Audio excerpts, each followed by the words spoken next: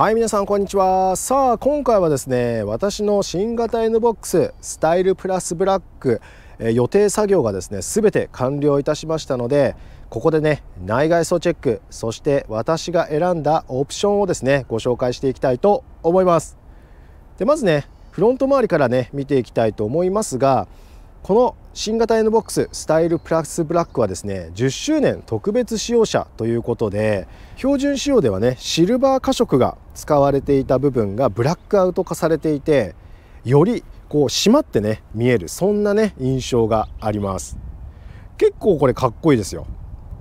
で私がね選んだボディカラーなんですけれども私はまたねブラックを選択いたしました。なのでえブラックアウトされた褐色にさらにブラックのボディカラーということでよりね引き締まってかっこよく見えます。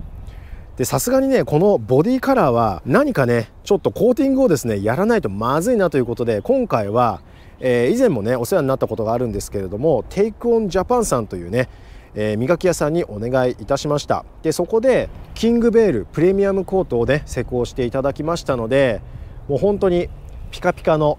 ぬるぬるなブラックという形になります。結構かっこいいですよねこれ。でこのね N ボックスなんですけれどもまあねもう皆さんご存知だと思うんですがヘッドライトね、LED そしてウインカーはシーケンシャル流れるタイプ。でさらにホグライトも LED になっております。これが軽自動車ですよ今の。なんか昔ではね考えられないですよね本当に。でね今度はサイドに回っていきたいと思いますがいややっぱねフロントグリルがブラックアウトされたので非常にね引き締まって見えてかっこいいです。でサイドにね回ってきましてホイールをね見ていきたいと思います。ホイールも特別使用者専用のホイールです。こんな感じブラック塗装されているのでこれもね結構かっこいいですよね。でちなみにタイヤサイズは16555の R15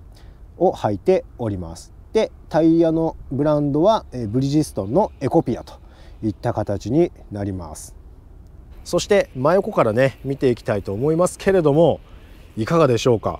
真っ黒ですね。本当に真っ黒です、えー、これがねボディカラーがホワイトだとねどこがね、えー、特別使用者の専用過色かっていうのがはっきりわかると思うんですけれどもちょっとボディカラーがブラックだと標準使用者のねシルバー化色どこに使われていたかっていうのがわからないとなんかこう特別使用者感っていうのをね感じられない部分があるんですけれども、まあ、見た目真っ黒でとてもねかっこいい仕様になっております。次はねリア周り見ていきましょう。はいこちらですね。リア周りになりますがリア周りも真っ黒です。でどこに N ボックスそしてカスタムというねバッジがついているかお分かりになりますでしょうか。パッと見ですね真っ黒だからわからないんですけれどもこちらになります。ここ。N ボックス。ね。ブラックなので非常に分かりづらいです。そしてこちらにカスタムというバッジがあります。これがねやっぱりねホワイトだと非常にあの2つのねバッジが映えるんですけれどもブラックだと正直分かりづらいです。ただねこの分かりづらいっていうのが逆にね良かったりする面もあると思うので、まあ、これは好みだと思いますけれどもまあ私はねどっちかっていうと白の方が良かったかなとは思うんですが、まあ、今回はうちの奥さんがこのブラックをねご利用ししたっていうところもあるのでまあまあまあまあこの N ボックスのねメインドライバーはうちの奥さんになるのでまあ奥さんの意見を優先したといった形になります。ということでね、えー、外装を軽くチェックいたしましたがいかがでしたでしょうか？やっぱ結構かっこいいですよねこの NBOX の特別使用車スタイルプラスブラックですでにねいろいろな動画でこの NBOX スタイルプラスブラックの、えー、もう映像は出ているので、まあ、こんなもんかっていうのはねお分かりかと思いますので今度はね内装行ってみたいと思いますまあ自分で言うのもなんですけれども内装は多分、えー、皆さんと違うねものを選んでいると思うので是非ご覧ください。さあそれでは内装を見ていきたいと思いますが鍵を開ける際はドアノブをこんな感じで握ってあげると解錠できるというタイプになります。そしてドアはですねなんとがっつり90度まで開く仕様になっております。でドアトリムね見ていきたいと思いますが基本的にはねブラック基調になっていてどこが違うかっていうとここですね。ここ。ここが、えー、この NBOX 特別使用者専用パーツがついているといった形でメタルスモーク変更塗装が施されています。なんかパッと見のね印象としてはなんとなくこう金属調っぽいようなねそんな感じがあります。で車内もねこんな感じです。基本的にはブラック基調ですね。でさらにルーフもブラックといったところで非常にですね引き締まって見えますよね。ただ天井高が高いのでルーフがブラックでもそんなに圧迫感は感じません。でシートなんですけれどもシートもですね非常にですねしっかりとした座り心地の良いシートが装備されているので結構ね長距離移動でもね疲れにくいと思います。でさらにはこのように大型のアームレストまで装備されているといった形になっております。では乗り込んでいきたいと思います。ではまずねハンドル周りから、えー、見ていきたいと思いますけれどもハンドルは本革巻きですよ。本革巻きなので非常に握り心地はいいですね。でボタン類は左がねオーディオ関係そして右側がホンダセンシングアダプティブクルーズコントロール関係になります。で今回のね N-BOX の最大のトピックでもあります。なんと電動パーキングブレーキそしてブレーキホールドが備わりましたのでこのアダプティブクルーズコントロールも全車速対応になりました。素晴らしいです。以前乗っていたね N ワゴンでも全車速対応のアダプティブクルーズコントロールが装備されておりましたがまあ、ちょっと高速を走った感じだとなんとなくね制御感が良くなってる印象なのでこの辺りはまたね高速試乗編をお届けしていきたいと思います。そしてこの車にはパドルシフトが装備されているといった形ですね、えー、ターボ車にはねパドルシフトが備わるということです。で前方を見るとですねこんな感じです。視界はめちゃくちゃいいです。本当に視界はいいですよ。えー、元 N ワゴンオーナーもびっくりするほどの視界の良さでございます。そしてこのね左側のミラーね気になる方いるかと思うんですけれどもここは何を映してるかというとこの上の上のミラーで左前方そして下のミラーで、えー、このちょうど左下を映しているっていう感じですね。昼間は見えるけれども夜はちょっと見えないといった、えそんなねミラーでございますそしてこのねパネルも特別使用者専用の、えメタルスモーク塗装が施されているっていうことでこの車内の質感もねなかなかいいものがあるんじゃないかなといった印象があります。で以前私は N ワゴンに乗っていて今回 N ボックスに乗り換えてね、えー、何が驚いてるかっていうとまあこのね車内の質感はそうなんですけれども結構ね収納が多いなっていう印象があるんですよ。まずこのメーターの上にあるこの収納ティッシュボックスかなんかが入れられるようなね大きな収納がありますよね。そしてここには大型のトレイがあるということですよね。でこのトレイまだね何も敷いていないんですけれどもちょっと何かマットでも敷こうかなと思っております。でここを開ければドリンクホルダーですね。しっかり四角いものが入れられるそんなタイプになります。でさらにはここコンビニフックがあったりでさらにこここういった小物入れもあったりといったところで非常にね使い勝手は良さそうな印象があります。そしてねこのメーターパネルもね結構視認性高いなと思いました、えー、このハンドルの中じゃなくて上にあるので非常にですね見やすいです。うんこれは見やすいですね。ちょうどね目線から行くとハンドルが被らないのでしっかりとスピードメーターも認識できつつ前方の、えー、認識もできるっていう感じでこれはなかなか使い勝手良さそうなねメーターパネルだなと思いました。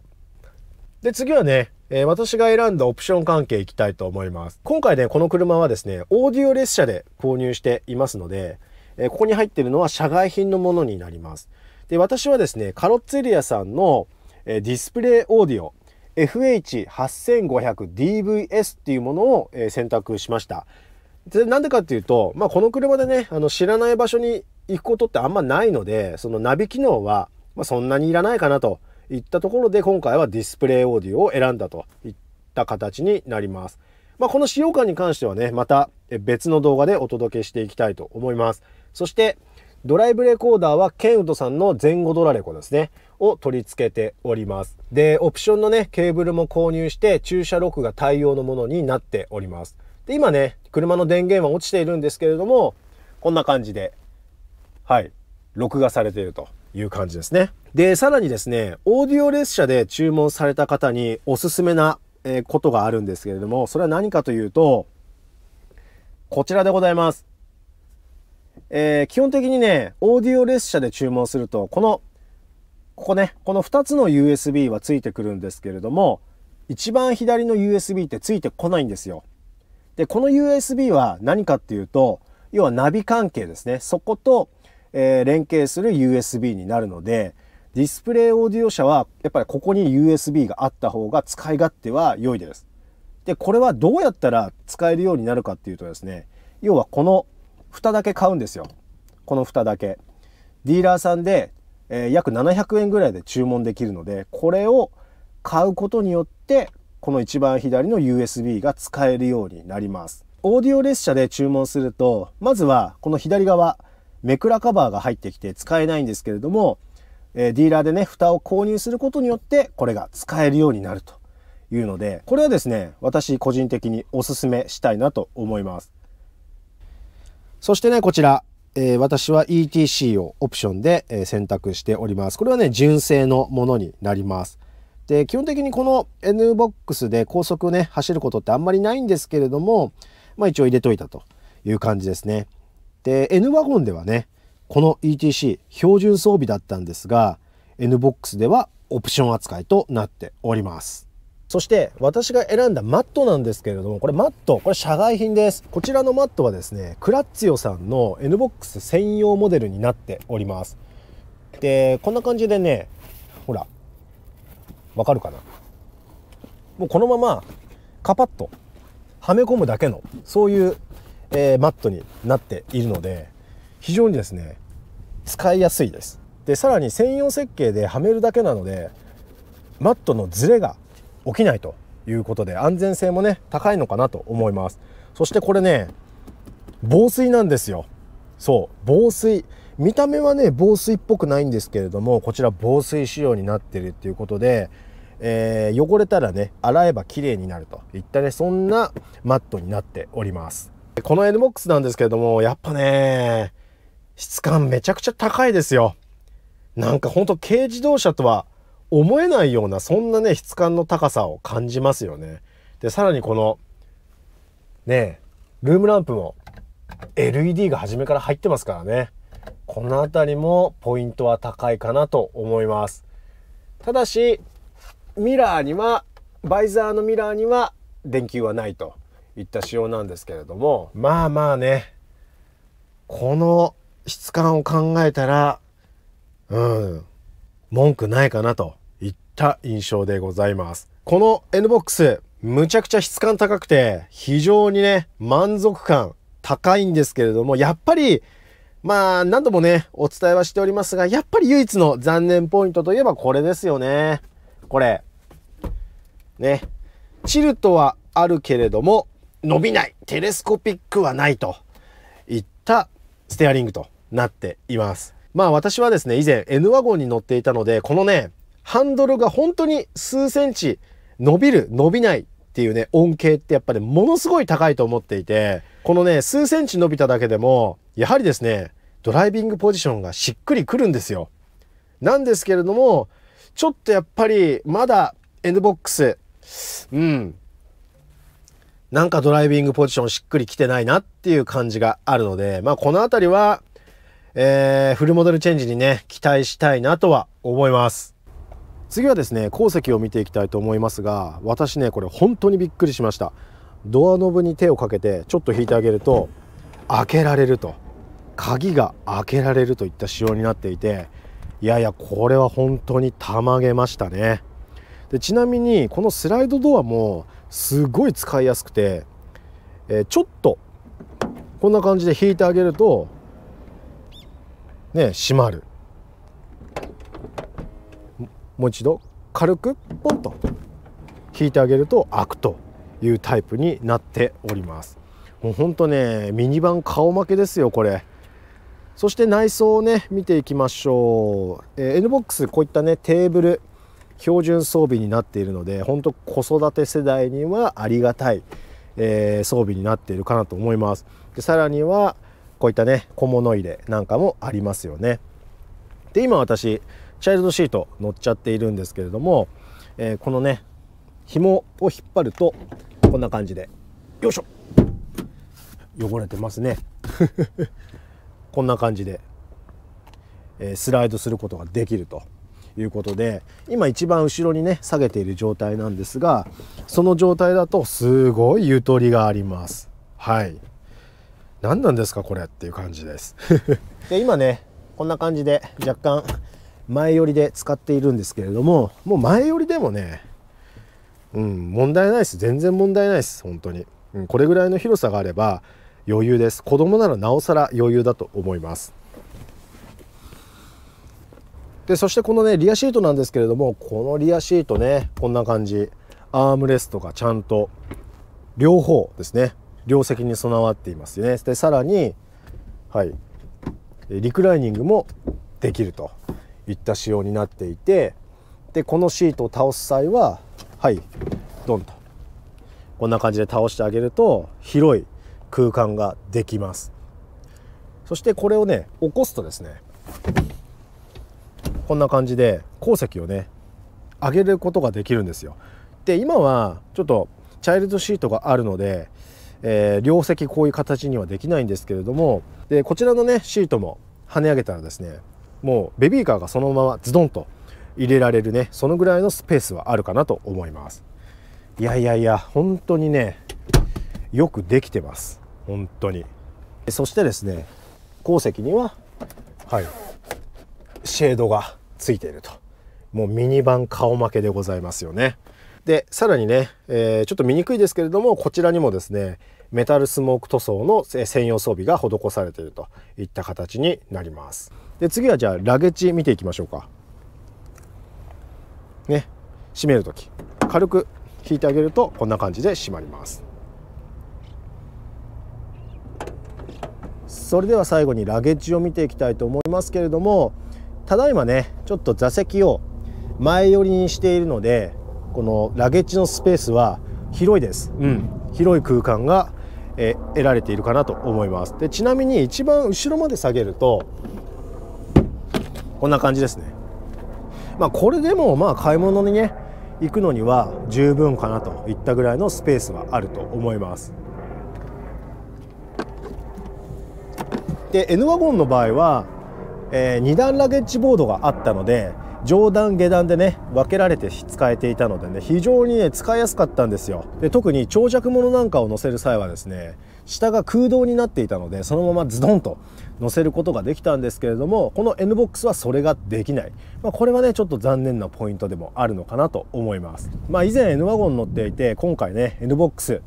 えー、乗るとですねやっぱり両者の良いところ残念なところっていうのは非常に明確に分かるので、うん、なんかこう一長一短な部分もあるのかなと思いますけれども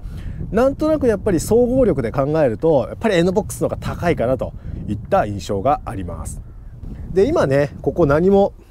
マット敷いていませんけれども今後ねベビーカーをこう積むことも多くなるのでなんかここマット、えー、敷いてね汚れ対策をしようかなとも思っております。でちなみに鉱石の、ね、ドラレコはこちらについているといった形になります。でさらにはラゲッジのランプもねちゃんと LED が備わっていて本当にもう普通車顔負けの装備内容になっているという感じですよね。いやーほんとね参りました。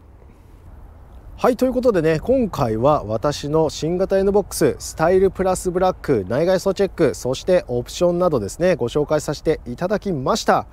えー、これからですねこの N ボックスを使っていろいろお届けしていきたいと思いますので是非ですねチャンネル登録していただければと思います。で今回ですねこの NBOX を所有して思いましたけれどもやっぱね NBOX はよく本当にできてると思います。こういったスーパーハイト系の軽自動車をお探しの方はですね NBOX を選んでおけばまず間違いないので、うん、ぜひですね、えー、ご検討いただければと思います。それではですねまた次の動画でお会いしましょう。